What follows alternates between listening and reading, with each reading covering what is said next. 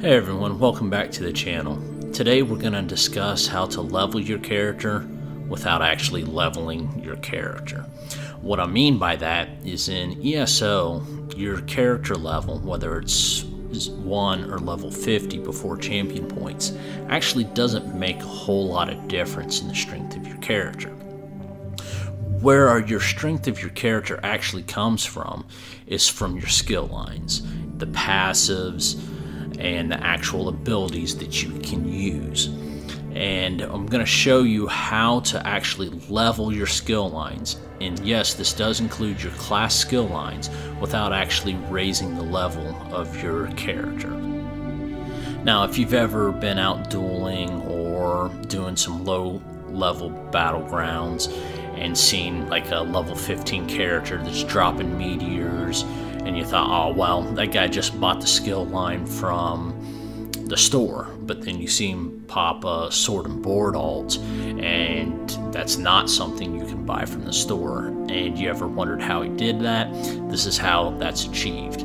So if you're just wanting to go out and do some duels as a level 15 character and troll some players, or if you're just a PvE player that wants to get the extra daily XP uh, from doing your daily battlegrounds without getting killed every five seconds, then this is something that you can do to really help that character development out. So we achieved the skill line leveling through a book farm. And there are a few different places to do this. You can do the Librarian Central, the one in uh, Coldharbour, However, the fastest way to do this is through the Aetherian Archive trial in Craglorn.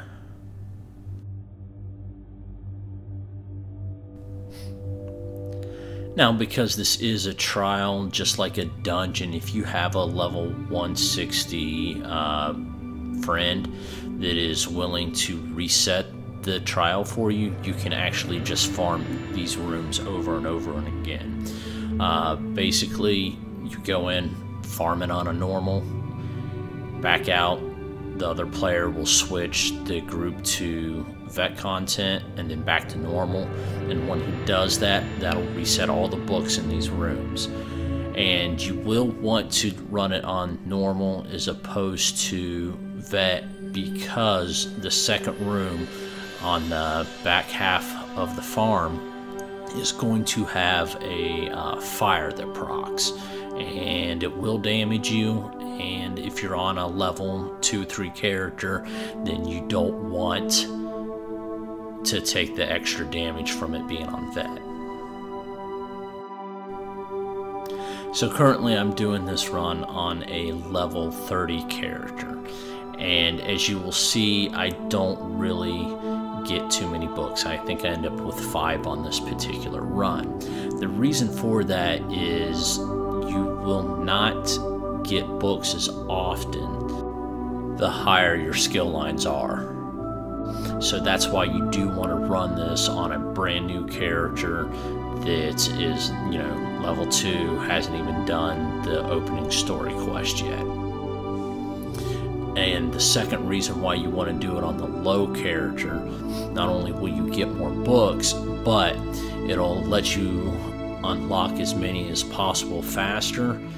And then once you stop getting as many books and it becomes a very slow farm, then you can go out and do your Psijic skill line, Sky Shard, and lore book hunts all at the same time, unlocking all those skill lines with minimum XP from just discovering new areas and way shrines. So that way you'll keep your character level as low as possible, getting the skill points to put into all the passives and skills that you're unlocked.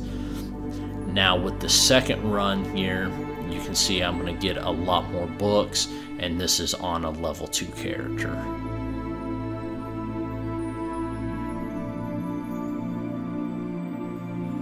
So as you'll end up seeing here, the lower level character ends up getting about double the amount of books, and I messed up and wasn't even running uh, the back portion of the second room where the flames were. So I possibly even lost out on more books.